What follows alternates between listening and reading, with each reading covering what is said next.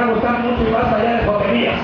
Les voy a contar una historia, que es la historia de cómo fue que llegué yo a ser la voz de Homero Simpson, después cómo fue que la perdí, después cómo fue que casi me iba a suicidar, y después cómo me recuperé. Ahí les va. Fíjense que resulta. ¿Qué hace este baboso en el escenario? ¡Es igualito Homero Simpson! Bueno, después de la instrucción de mí del y yo otro fíjense que resulta que en mayo de 1990 yo trabajaba. Déjense, mi house. Un aplauso para mi house.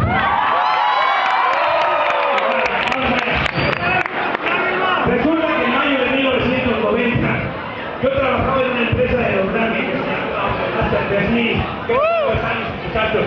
¿Se lavaron las manos? Yo no. Y fui al baño a hacerme el dos.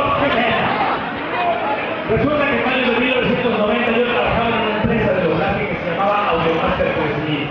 Y ahí el director de la empresa me decía, señor Pérez, usted es extraordinario actor de doblaje, es de lo mejor que hay, es maravilloso. Y me gustaba el ego. Yo caminaba así por 3000. ¿Y ese famoso qué? Ah, pues, gracias. Entonces, decía todo el tiempo, señor Pérez, usted es magnífico, es extraordinario, es una de las mejores voces que ha tenido el montaje nacional. Y yo me la creía, y me inflaba así, caminaba así, ¡oh! ¡Qué bárbaro! Soy maravilloso. Y un día de mayo de 1990, levanten la mano los que ya hayan nacido, los que ya habían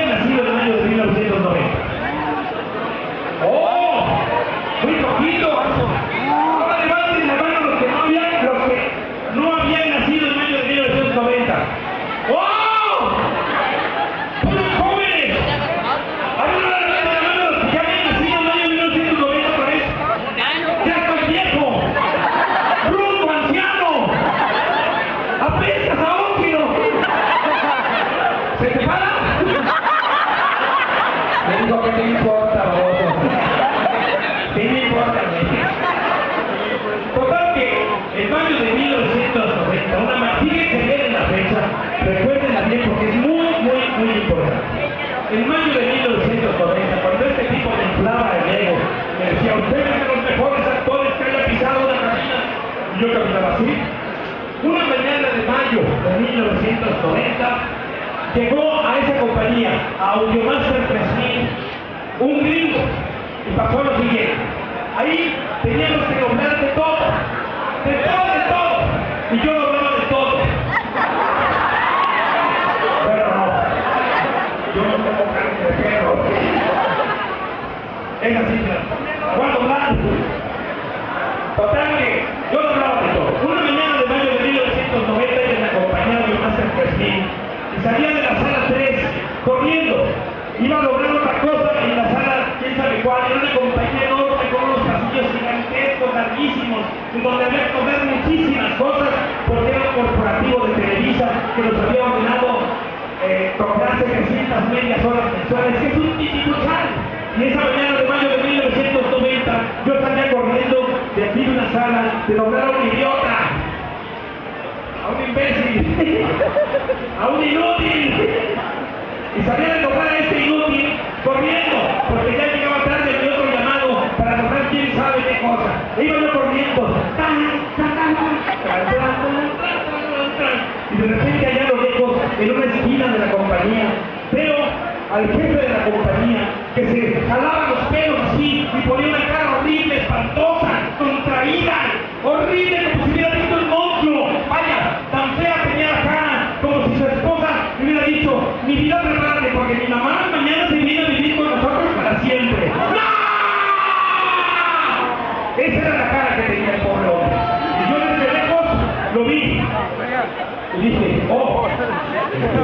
El jefe está en problemas. y voy corriendo para allá. Y le voy a hacer la barba. Porque sí, uno tiene que hacerle la barba al jefe. ¿Tú nunca le hiciste la barba al jefe? ¿Verdad que sí? ¿Quién es ese idiota que está debajo de ti? Es tu hermano, tu padre, tu marido. Tu amante cínica. Total voy corriendo para allá. Y está así, con la cara horrible. Y evidentemente tenía un problema. Yo dije, se lo voy a resolver, porque yo le voy a hacer la barba a mi jefe. Total era el que me decía que yo era buenísimo. Y entonces me ve el jefe, y cuando me ve venir, se acerca tantito a mí, como yo tenía así, me coge de la mano a favor. Es que digo, me coge y este güey, eh, eh, eh. sucio, puerco. ¿Cuántos años tienes, puerco? ¡Trece años! Y digo, me coge y me... Total que me coge y me arrastra. Me arrastra por toda la compañía del jefe. Y me va diciendo, al mismo tiempo que me va arrastrando, y yo me dejo arrastrar. El jefe me va arrastrando. Me va diciendo, oiga, señor Vélez, qué bueno que llegó usted esta mañana, porque me va a hacer un favor muy grande. ¿Qué es lo que le pasa, señor Fogarty? Lo que pasa es que hay un gringo Fíjate, como hay niños chiquitos, no voy a decir lo que diga. Cuando yo diga, hay un tú le pones en la cabeza, en tu cabeza, la grosería más grande que quieras. Porque eso fue lo que dijo el jefe, ¿ok? Vamos a hacer un ensayo. Una, dos, tres. Fíjese, señor, que hay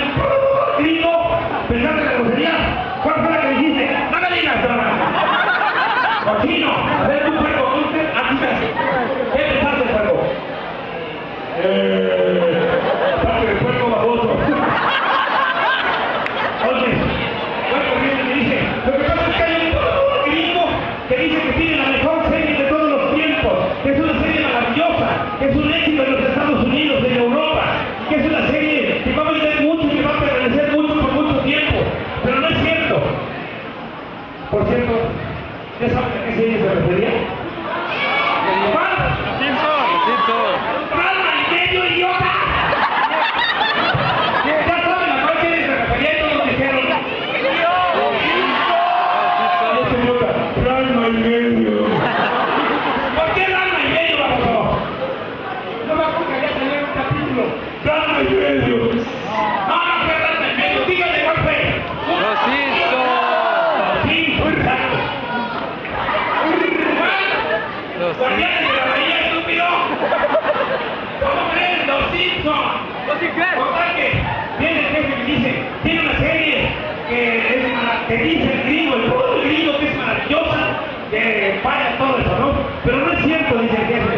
La serie es muy fea. Es alburera, es grosera, es espantosa, los muñecos son amarillos, tienen los ojos saltones, son muy albureros. Ese fue el primer encuentro que yo tuve con la serie de los, de los Simpsons, no me dan y medio. Ese fue el primer encuentro que yo tuve con la serie de los Simpsons. Un encuentro negativo, ¿te das cuenta? No, no podía ser más negativo el encuentro. Y el tipo me sigue arrastrando de la mano a cintura, y yo dejando que van a hacer la acá. Y seguía hablando más de la serie. Y fíjese que el gringo, el todo gringo, lleva siete días en la compañía y no encuentra a quien va a ser el actor principal de esa estúpida y fea serie. El gringo lleva siete días en la compañía, siete días de hacer un casting, siete días de hacer casting, y no me habían avisado ¿Te das cuenta? Me señor y tú no eras el mejor. Pérez, usted es el mejor actor que ha pasado. ¡Bla, bla, bla, bla, estupideces! El caso es que llega el casting para hacer la serie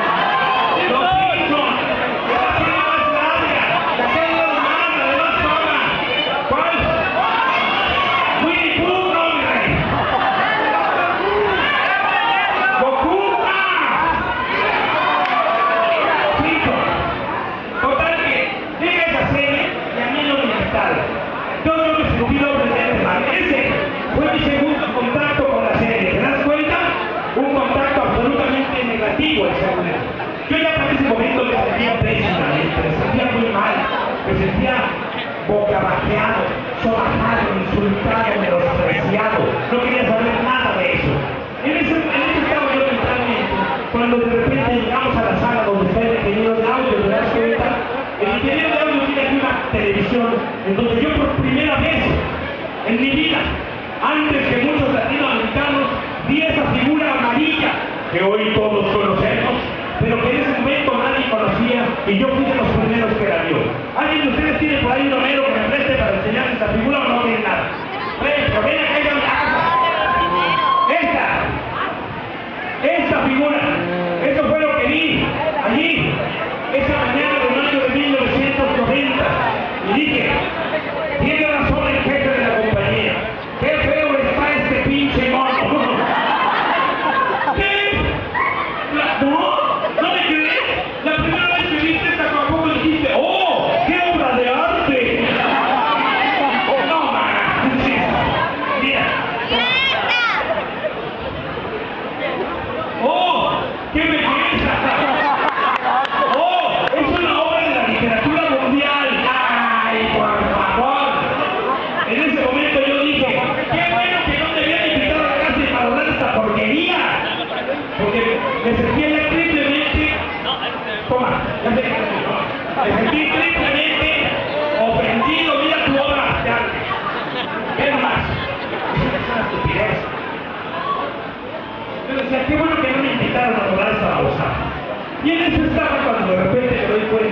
de que adentro de la sala de actores está ocurriendo el casting, ¿entiendes tú? El, ¿Sabes ustedes lo que es un casting? Estaba ocurriendo el casting de los niños de este lado acá. ¿Qué es eso? Cerveza. Mmm, cerveza. En ese momento estaba ocurriendo el casting de allá adentro y había un amigo mío que hubiera sido mejor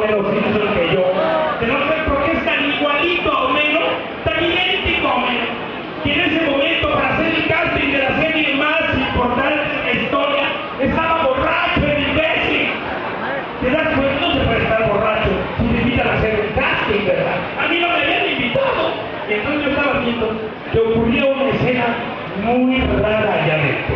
El casting se desarrolla con el movimiento de que el productor, el director del casting, tiene que decirle al actor las características del personaje para que él las desarrolle. ¿Me entiendes tú? Te tiene que decir, es borracho, mal padre de familia, bla. Le decía el gringo todo esto y mi amigo no entendía nada. Y no entendía nada porque dos cosas estaban pasando. Una, porque estaba tan borracho que no podía entender nada. Y otra, porque el gringo no hablaba español y se lo decía todo en inglés. Y si mi amigo no hablaba español porque estaba bien borracho, pues inglés menos. Oh, pero la compañía Audiovisual Fermines había puesto entre los dos muy inteligentemente a un traductor simultáneo. Y este servía para puritita madre porque traducía como los letreros de películas, poco y mal. Entonces, la conversación ocurría más o menos así. El gringo decía a mi amigo, Homer Simpson, después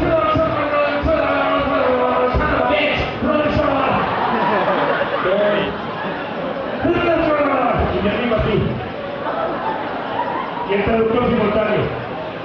Es irresponsable Y hasta y el gringo. Homer Simpson fuck you. Amigo. El traductor simultáneo. Es mal padre de familia. No se puede hacer un casting de esa manera si no te traducen nada. Tienes que saber exacta y perfectamente cuáles son las características de la que vas a doblar. Mi amigo no se enteraba y el traductor simultáneo no traducía y el productor se desesperaba. Yo estaba pensando en todo eso cuando de repente, ¿verdad? Me acordé, dije, mi madre tiene que estar allá. ¿Qué tiene que ver mi madre aquí? Ahorita van a esperar. Mi madre, que en gloria esté, tiene que estar en gloria después de haber parido esta porquería. Yo me acuerdo muy bien el día que yo nací. ¿Tú no te acuerdas del día que yo nací? Ahí está, ella se acuerda bien del día que yo nací. Ahí estaba, ¿verdad? Perfecto. Ok, el día que yo nací, llegó el doctor conmigo en los brazos. Así. Y me entregó con mi madre. Señora, aquí está su hijo. Mi madre. No lo mire, señora. Todavía sirve. ¿Para qué sirve? ¿Para qué sirve esta porquería, doctor? ¿Para qué va a servir? Cálmese, señora. Todavía le tengo que hacer unas pruebas. ¿Qué pruebas le va a hacer, doctor, esta cosa? ¿Qué pruebas le va a hacer? Lo voy a aventar al techo. Y si vuela, pues es un murcielaguito. Ah, pero si se queda pegado ahí, es un tumor. Soy un murcielaguito. Mi madre que gloria esté después de haber parido este médico vampiro. ¿Qué tiene que ver mi madre? Me había mandado a estudiar a los Estados Unidos. ¿Y eso qué tiene que ver? Sí tiene que ver que ganó de sus penas. Fíjate bien, fíjate.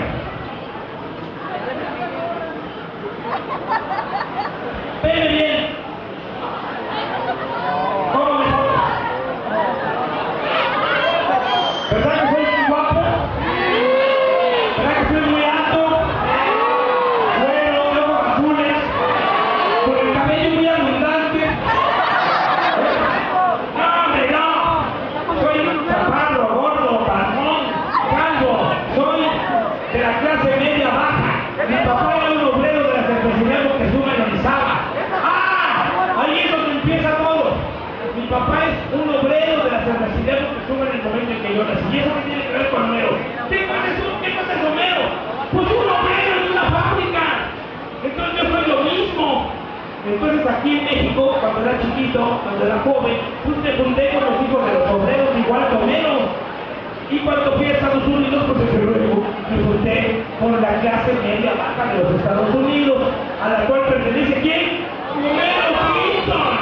Entonces lo conocí desde adentro, conocí todas sus motivaciones, sus alegrías, sus frustraciones, sus estupideces, ¿me entiendes tú? Por eso, ese día de mayo de 1990, cuando yo estaba aquí escuchando que mi amigo no al casting, yo decía, "Pues está fácil, lo que quiere el gringo es un gringo de clase media baja, igual que yo soy un mexicano de clase media baja, ¿verdad?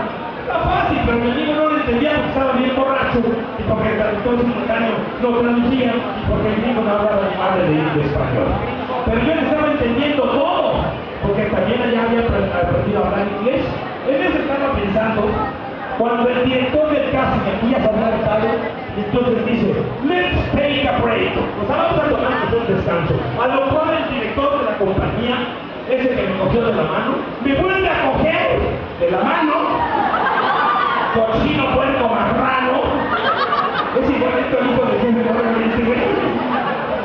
Me vuelve a coger de la mano, me arrastra y me mete.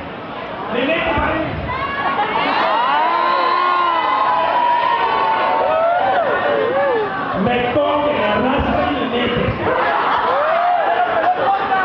Bárbaro. Me coge, me arrastra y me mete. Ay, ya me está gustando mucho decir eso. Bueno, el caso es que me coge de la mano, me arrastra y me mete a la sala de grabaciones al gringo, no, no, no, no, no pare, no un pruebe a este, este, era yo. Pruebe a este, dice, mientras voy por un actor. ¡No! Mientras voy por un actor, hijo de tu... ¿Y yo qué soy? ¿Hijo de soldado? Digo, no es que sea hijo de soldado sea malo, pero yo no soy hijo de soldado, yo soy actor. Actriz, no, actor. Yo soy actor. Entonces quedé otra vez muy mortificado. Pero ¿qué estoy haciendo aquí, rayos? A cada ratito que estoy juntando este tipo no puede ser. Pero el gringo, que es muy profesional, hay que reconocer que los gringos son muy profesionales. Tanto, tanto, que a veces hasta parecen seres humanos. A veces, a veces, no te parece. El caso es que el gringo mañana me tiende la mano y empieza. Hombre Simpson, y ya me iba a empezar a dar de fue Romero Simpson para que yo lo hiciera. Pero yo le dije, no, no, espérate, espérate, espérate, no, me, no me digas. Yo llevo 20 minutos allá afuera escuchando de estúpida explicación. No necesito que me explique más. No necesito que me explique. Ya sé que quiero, que quiero un médico de clase media baja, está muy fácil de hacer. Entonces no quiere que me explique, no, no quiero que me explique. ¿Qué quiere hacer? Quiero grabarla fuera de inmediato y salir de aquí inmediatamente. Se me quedó mirando así, esperando chicos rojones como pensando, con razón Debe tener razón. El caso es que yo llegué, llegué a la actriz, agarré mi peso, lo tiré al suelo, y le dije al gallito, gallito, vamos a grabar. El gallito era el operador de audio. El gallito con su muy bien timbrado acento francés me dijo desde allá adentro, a través de la bocina de intercomunicación. Bendito, tienes un ensayito. Era francés. Le dije, no, gallito, ya llevo 20 minutos allá afuera contigo viendo esta escena, ya me la sé de memoria. ¡Graba! Me dice, bueno, grabamos. Y el gringo se cogió en hombros, puso una mano atrás, la otra encima, de esta manera. No sé por qué se puso así. Puso además la, la frente contra una pared, así. Y así escuchó toda la prueba. Yo no sé por qué hizo eso, y no viene al caso decírselo, pero ya se lo dije. Entonces, el grito es que ya hace la prueba. Ah, ¿sabes cuál era la prueba? La prueba era, en el año 1 de los Simpsons, hay un capítulo en el que el señor Burns cumple años, ¿te acuerdas? Y él invita a todos sus empleados de la planta nuclear a comer a su casa, ¿te acuerdas? Y todo, y pero es bien malo. Y les dice que ellos lleven toda la comida, ¿te acuerdas? Ese no se acordó. Todos llevan gelatinas, ¿te acuerdas? No, yo tampoco me acuerdo, pero esa era. Gelatinas. La prueba, la escena de la prueba era la escena está haciendo las gelatinas del señor Burns para su cumpleaños. Entonces, ella está haciendo la gelatina y los demás están alrededor del chinchán. Y la escena corría así. Suelta la gallito, empieza, sale uno Simpson y empieza. Sí, Marx, las gelatinas.